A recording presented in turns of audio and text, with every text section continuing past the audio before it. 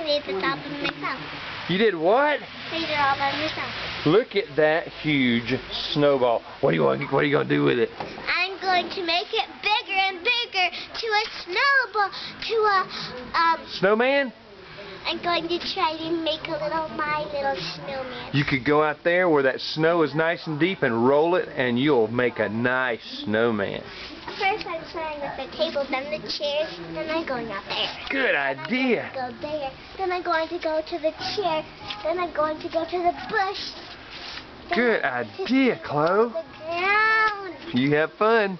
I love you. Daddy, Daddy, can you get dressed and all that stuff and come out and help me with the big um thing? Yeah, can you give me a few minutes? Yeah. I love you. Love you too. Bye.